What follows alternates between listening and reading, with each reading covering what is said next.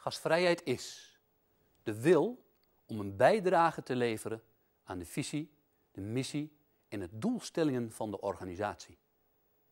Gastvrijheid is de wil om de waarden en normen van die organisatie uit te dragen. En gastvrijheid is de wil om de gedragsregels van die organisatie zichtbaar te maken.